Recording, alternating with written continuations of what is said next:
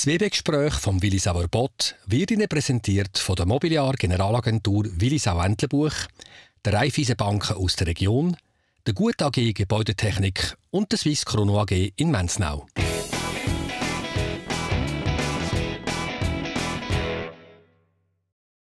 Liebe Zuschauerinnen und Zuschauer, herzlich willkommen zum WB-Gespräch zum aktuellen Monatsinterview vom Willisauer Bot. Das Jazzfestival meldet sich nach der zweijährigen Corona-Krise zurück, findet vom 31. August bis am 4. September wieder statt. Darum, zu Gast bei mir ist der Arno Troxler. Herzlich willkommen. Hallo. Arno, du bist dreifacher Familienvater, du bist Musiker, Drummer in mehreren Bands, du bist seit zwölf Jahren jetzt Leiter vom Jazzfestival Willisau. Welche Aufgabe gefällt dir am besten? Ja, das ist jetzt schwierig ähm, zu beantworten, dass ich nicht entweder meine Kinder ähm, unglücklich mache, dass sie nicht an den ersten Stelle kommen, oder die, die das Festival interessiert, dass es nicht das Festival ist. Also eigentlich ist es für mich die, ähm, die Vielfalt, die ich habe, so im Alltag, ist, macht es aus, das gefällt mir, dass es am einen Tag ist ein Festival organisiert, dann bin ich daheim einen Tag, nächsten Tag spiele ich selber, dann bin ich halt bei der Pace drin, noch ein paar Tage am Arbeiten, das ist Alltag in ein anderes Programm, das passt mir eigentlich sehr gut. Nach zwei Jahren Corona-Stille äh, geht das Festival Ende August wieder den Ton an. Arno Troxler, die letzten zwei Jahre sind sehr schwierig gewesen. Ähm, wie hast du die erlebt? Oder anders gefragt, wie habt ihr es geschafft, dass es euch noch gibt? Habt ihr nie ans Aufgeben gedacht? Nein, als Aufgeben haben wir überhaupt nie gedacht. Wir haben ähm, die letzten zwei Jahre äh, uns natürlich viel mehr mit dem beschäftigt, was eigentlich nichts mit unserem Kerngeschäft, sage ich jetzt mal, zu tun hat, mit etwas organisieren, sondern wir haben uns immer überlegt, können wir, können wir nicht, was können wir, geht's, geht's nicht.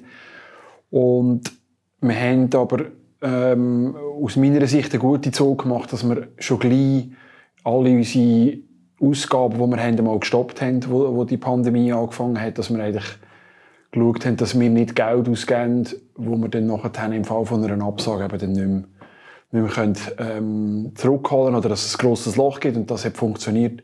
Und so ist das eigentlich ähm, relativ glimpflich, sage ich jetzt mal, für die ganze Organisation im Grundsatz über die Bühne gegangen. Das heisst, äh, finanziell haben ihr auch Unterstützung gehabt, als ihr über die Runde gekommen sind? Ja, ich darf und durfte auf die grosse Unterstützung zählen, zum Beispiel von der Kulturförderung vom Kanton Luzern. Und ich eine Leistungsvereinbarung habe über Jahre, wo das Geld gleich äh, gezahlt hat, weil ja das Festival nicht einfach mit diesen fünf Tagen erst kostet, was dann stattfindet. Das ist ein Jahresbetrieb. Gleichzeitig hat die Gemeinde Willisau sich ähm, weiterhin engagiert in diesen zwei Jahren. Dann sind gewisse Stiftungen gesehen, die das Festival unterstützen, die Beiträge schon gesprochen haben, die sie auch gezahlt haben. Also so habe ich, ähm, also ich und das Festival haben keinen finanziellen Schaden gehabt. Wir haben auch keine, keine Ergänzungsleistungen oder so etwas in dieser Art müssen beantragen. Arno, äh, so eine Zwangspause kann ja auch eine Chance sein. Ist das für, uns, äh, für euch auch eine Chance gewesen? Ja, es ähm, stellt natürlich schon alles ein bisschen auf den Kopf, wenn man sich plötzlich muss mit der Frage konfrontiert ist, was kann man, was kann man nicht machen, was, was ist wichtig am Anlass, was ist der Kern von so einem Anlass. Und dann haben wir, ich und mein Team gleich gemerkt, wir müssen ein bisschen über Bücher, wie die ganze Organisation äh, von dem Festival aufgeleistet ist. Also, dass es, dass es auch zukunftsmässig so kann weitergehen kann. Darf ich noch unterbrechen? Natürlich. Was haben ihr für Weichenstellungen gemacht, Arno? Ja, ich habe jetzt gemerkt in den letzten Jahren, dass es, dass es ähm, durch die Übernahme von meinem Onkel damals ist das sehr ähm, personenorientiert organisiert gewesen. Also mein Onkel hat das gemacht nach außen, seine Frau hat viel gemacht, mein Vater hat mitgeholfen, aber es ist sehr ein, kleine, ähm, ein kleines Organisationsteam gewesen. Und das ist jetzt in meinem Fall passt das in mir nicht mehr und ist auch nicht mehr so zeitgemäß und ich bin jetzt dran, oder wir sind schon länger dran, die ganze Organisation ein bisschen breiter aufzustellen, dass die Verantwortung ein bisschen besser verteilt sind, nicht mehr so gross sind, dass im Fall, wenn mal jemand ausfällt, aus was für Gründen das nicht mehr machen kann, dass nicht ein grosser Brocken weggeht. Und das Ganze eigentlich in, in Voraussicht, dass, das, dass der Anlass, abgesehen von wem dass es, wer das es organisiert oder wer das es in diesen verschiedenen Orten und, und Sachen organisiert, dass es den Anlass noch möglichst lang gibt in Willisau. Breiter, abstützen, breiter abstützen, das heisst aber nicht, dass sich der Arno Troxler seinen Rücktritt vorbereitet. Nein, das heisst es überhaupt nicht, aber, aber ich wollte gleich schauen, dass es, ähm, eben, dass es in zukunftsorientiert auch weitergehen kann, weil man weiß nie, was passiert. Es kann manchmal sehr schnell gehen. Und wenn dann ähm, wegen, einem, wegen irgendeinem Zwischenfall plötzlich so ein Anlass nicht kann stattfinden wie es auch sonst schon gegeben hat in diesem Jahr in anderen Veranstaltungen im Kanton, dann ähm, finde ich, ist jetzt der Zeitpunkt, um das so aufzustellen, dass das eben dann nicht der Fall ist. Und Arno, ist das einfach, Leute zu finden, die sich engagieren? Äh, ich habe ein riesiges Glück, muss ich sagen. Ich habe im, im engsten Team ist es der Marco Sieber aus Sempach, der seit 25 Jahren wahrscheinlich am Festival mitarbeitet und immer gewachsen ist. Meine Brüder, der Beda, der einen grossen Teil macht. Ähm, die ganze Organisation, technische Aufbau, das alles leitet. Dann kann ich auf ein grosses Helfer, freiwillige Helfer-Team ähm, zählen, wo auch seit Jahren immer wieder kommt, wo jetzt auch trotz der Pandemie nach diesen zwei Jahren wieder auf dem Platz ist, wo ich noch das erste recht gespannt war, ob die ob sie wieder kommen oder ob es für viele ist. Jetzt, ist es zwei Jahre, es ist jetzt auch gut gewesen, jetzt ist es ein guter Zeitpunkt zum Hören. Aber das habe ich nicht. Also ich habe wirklich eine sehr grosse ähm, Abstützung, dass das so überhaupt möglich ist, mit sehr guten Leuten. Gut. Weg vom, von der EIMA-Organisation hin zum Team. Ähm, bleiben wir noch bei der Corona-Zeit ähm, 2021 wäre das Festival mit äh, starken Einschränkungen möglich gewesen. Ihr habt es trotzdem abgesagt. Ähm, du hast damals gesagt, du willst kein halbherziges Festival. Du, das Festival funktioniere nur aus Gesamtpaket, ähm, aus umfassendes Erlebnis, das da wäre.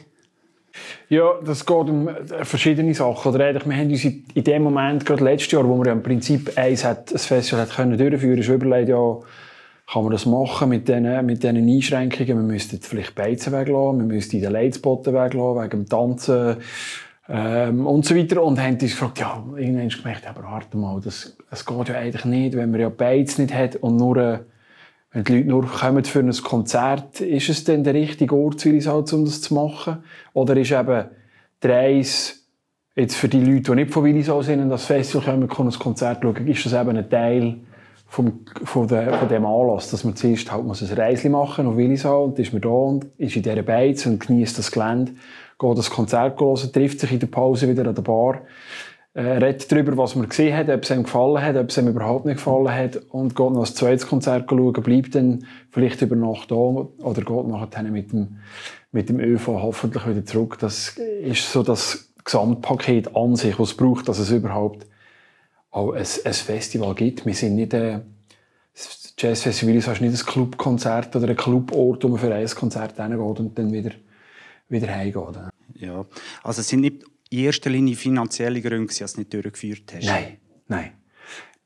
Äh, das, also Finanzen haben natürlich schon im, im, in einem zweiten Schritt eine Rolle gespielt. Ich kann nicht wollen, ein, ein Festival oder einen Anlass organisieren, wo ich zum Voraus schon weiss, dass das nicht funktioniert finanziell. Weil irgendwoher muss das Geld wieder kommen. Es ist sonst schon schwierig, das ähm, finanziell mit der, mit der, in eine Rollrunde zu bringen. Aber grundsätzlich ist es bei der ersten Überlegung darum gegangen, ist, es gibt es einen Anlass, wo, wo in dem entspricht oder, oder würdig ist, was wir sonst machen. Wir haben nicht, nicht wollen einen Anlass machen, einfach, dass wir einen machen. Gut.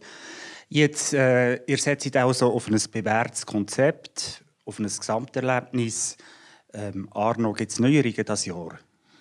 Also irgend von Organisation oder vom Programm her oder so? Wo du würdest sagen, sind neue Akzente oder von den Leuten her, die mithelfen? Oder? Die Organisation ist ja im Prinzip, das haben wir vorhin diskutiert, ist ein bisschen anders geworden, aber das soll den Besucher nicht interessieren. Hauptsächlich, dass es, oder hauptsächlich ist, dass es genau gleich gut und herzlich daherkommt. Äh, wir haben ein paar Neuerungen dieses Jahr. Einerseits macht ähm, der AKE, also Aktion Kultur Willisau, der schon länger den Leitspot, den Club führt, macht einen, einen, einen DJ-Livestream auf der Terrasse der Festhallen am Mittwoch und am Donnerstagnachmittag. Das ist etwas ganz Neues. Also DJ-Sets, wo sie Leute einladen. Das sind Musiker dabei, die spielen. Das sind Besucher vom Festival, die so ein kurzes, stündiges DJ-Set machen, wo dann, dann vom äh, Internetradio gestreamt wird. Das ist eine Neuerung. Wir haben dieses Jahr den Kleinbus vor Ort, fünf Tage. Das ist ein, ein, äh, so ein dreieinhalb Tonner Hebebühnenwagen, wo der Philipp Lang zu einem Musikerlebnisort, äh, Konzertort umgebaut hat, wo er Maschinen gebaut hat, wo Klang und Sounds machen. Da kommen die Schüler vorbei von der, von der Primarschule von Willisau den Tag aus und am Abend gibt es spontane Vorstellungen hier auf dem Festgelände.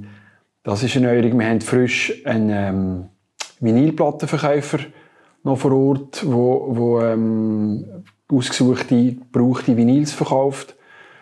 Ja, das ist recht viel, Arno. 23 Konzerte von zeitgenössischer äh, Kammermusik bis so über Rock, bis so Hip-Hop ähm, sind in der 46. Auflage angesagt. Wie viel Jazz steckt eigentlich noch in dem Jazzfestival Willisau? 100 Prozent. Äh, natürlich ist das eine, äh, eine Haarspalterei-Frage, wo sich die ganze Welt darum äh, schreit, ist jetzt das noch Jazz oder ist das nicht Jazz? Ich glaube, das muss jeder für sich selber entscheiden. Äh, für mich ist der Hauptaspekt, dass, ein, dass, dass es eine Haltung ist dahinter, ein Improvisationsanteil, sich überraschen, etwas zu hören und etwas, dass etwas passiert im Moment, wo man, wo man nicht schon zum Voraus weiß, was kommt. Äh, du sprichst von dieser Vielfalt von Musik und so. Wer programmiert die denn? Oder wer, wer sagt, was da zu hören ist, zu Willisau? Ich habe mir vor ein paar Jahren so eine Programmgruppe zusammengestellt, dass das nicht nur aus meinem, aus meinem Geschmack und von meinem äh, Kreis herkommt. Und das ist Martina Berter aus Zürich, der Christian Weber ähm, aus Zürich und der Manuel Troller aus Luzern, wo mich da beraten und wo wir zusammen äh, das Programm zusammenstellen und schlussendlich entscheiden oder nicht. Aber sie sind äh, äh, ein sehr wichtiger Teil in der, in der Ideenfindung und, und Band und Musiker finde ich für das Programm. Denn äh, Arno, der Programmmix ähm, soll zu einer Verjüngung vom Publikum beitragen und äh, Besucherzahlen stabilisieren. Ist das das Ziel? Also Besucherzahlen stabilisieren, das auf jeden Fall. Das mit der Verjüngung vom Publikum ist ein bisschen schwierig. Das haben wir, hat man probiert, oder von dem hat man immer geredet und immer das Gefühl gehabt, es müssen jetzt plötzlich ein Saal von 18-Jährigen kommen, frei und improvisierte Musik hören. Das ist vielleicht eine kleine Illusion. Das junge Publikum ist jetzt vielleicht im Fall von Willisau in der 35 und plus und das glaube ich schon, dass man das mit dieser Art von Mix und von dieser Art von Musik, dass es die in dem Alter Leute gibt, die das interessiert, ja. Wie wichtig ist es, grosse Aushängeschilder zu holen für ein Festival? No. Es gibt ja viele neue Entdeckungen, aber ab und zu auch ganz grosse Namen. Wie wichtig sind die für die Programmierung? Ja, das ist immer ein kleines Abwägen. Von grosse Namen haben auch meistens grosse Preise. Also es kostet viel, die Leute, die Bands hier zu holen. Ähm, manchmal macht es Sinn aus meiner Sicht, dass man die hält. Und manchmal ist es so, wenn es schon fünfmal in der Schweiz gespielt haben, irgendwo, dann ist dann vielleicht der Publikumsaufmarsch nicht mehr gleich, wie man das eigentlich erwartet. Es ist immer ein Abwägen. Und manchmal äh, bin ich selber überrascht bei Bands, wo man vielleicht nicht so könnte, wie viele Leute es dann gleich kommen oder wer wie zieht. Das ist immer wieder eine Überraschung, wo man im Voraus nicht so genau sagen kann. Apropos Zahlen, wir reden von einem Gesamtbudget von einer äh, rund halben Million. Ähm, wie gross sind denn die Daten ähm, von Bates, Ticketeinnahmen, Sponsoring? Es ist alles etwa gefünftelt. Also mit, ähm, wir können, ähm, mit den Ticketeinnahmen können wir immer Gagen zahlen im Minimum. Also alle, alle ähm, genau Gagen, was Musiker kostet. Dann die ganze Bates kostet etwa ein Fünftel, äh, was sich selber finanziert. Und dann sind noch zwei Fünftel oder drei Fünftel sind mit, mit Gönner und Stiftungen und Sponsoren gedeckt. Apropos Sponsor und Gönner, wird es immer schwieriger, solche zu finden? Oder äh, hast du da treue Unterstützung? Ich habe sehr, sehr treue Unterstützung, äh, sei es die öffentliche Hand, sei es Stiftungen, sei es ähm, das lokale Gewerbe, das mich seit Jahren äh, in Form von, von Sponsoring oder auch Sachsponsoring ähm, unterstützt. Und das ähm, ist eine sehr feudale Lage.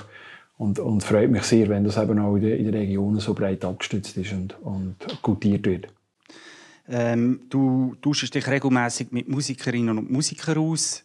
Äh, was sagen die zum Festival? Was, was hat das Festival für sie für einen Stellenwert und äh, für die Schweizer Szene? Ja, es hat schon noch einen wichtigen Stellenwert. Es ist ein bisschen komisch, wenn ich jetzt über das Festival selber rede, wie wichtig das, das ist, äh, dass es nicht so blöfferigmässig daherkommt. Aber ich glaube, ähm, was es ist, und das hat aber mit, de, mit, äh, mit dem Namen, mit der Geschichte von dem Festival zu tun, dass, dass es für, für regionale, für Schweizer Bands oder auf, auch für internationale spielt eigentlich nicht so eine Rolle, ähm, dass es die Art von Musik an einem Festival gibt, in dieser Größe, die so breit auch berichtet wird darüber in den, in den, in den Zeitungen. Manchmal kommt sogar das Fernsehen, ist jetzt zwar schon ein Zeitchen aber das hat eine breite Aufmerksamkeit und das kann schon dazu verhelfen, dass ein Band, die sich sonst in, im, im, im, in einer Szene bewegt, mal ein bisschen grösseren, breiteren ähm, Publikum das Gesicht bekommt und Aufmerksamkeit bekommt. Das Festival als Plattform von der Offenheit und vom Austausch. Ähm, wie wichtig ist, ist die Funktion für einen Standort Willisau, für die Region? Ja, ich finde, das ist ein, es befruchtet sich gegenseitig.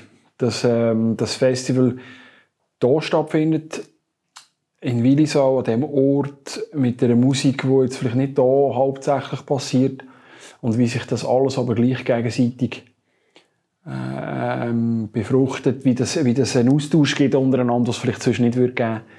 Das finde ich sehr wichtig und es ist, glaube doch ein Anlass, wo auch als lokale, ähm, die lokale Bevölkerung etwas davon kann profitieren kann. Das hoffe ich zumindest. Sechs. Ähm, genau, einfach mit, dass, man dass das einfach stattfindet und mal etwas anderes auch passiert in Willisau. Das Festival naht, kommen wir zum Schluss von dem Gespräch. Ist, hast du den grossen Arbeitsberg hinter oder vor dir? Wahrscheinlich im Kopf habe ich noch vor mir und in, in der Realität ist er schon gemacht. Also das Festival ist Dessert? Das auf jeden Fall. Das ist immer, sobald wir davon aufstellen hier in der Festhalle, dann ist, dann ist alles gut. Dann nachher, um das geht es eigentlich. Der Rest des Jahres im, im Büro sein ist jetzt nicht, ist nicht mein ähm, favorisierte Teil der Organisation, aber wenn es dann effektiv stattfindet, das ist das, was geht. Lieben Dank, Arno Troxler, liebe Zuschauerinnen und Zuschauer. Das ist das WB-Gespräch vom August. Wir freuen uns, wenn Sie nächsten Monat wieder dabei sind. Genießen Sie noch die letzten Sommertage.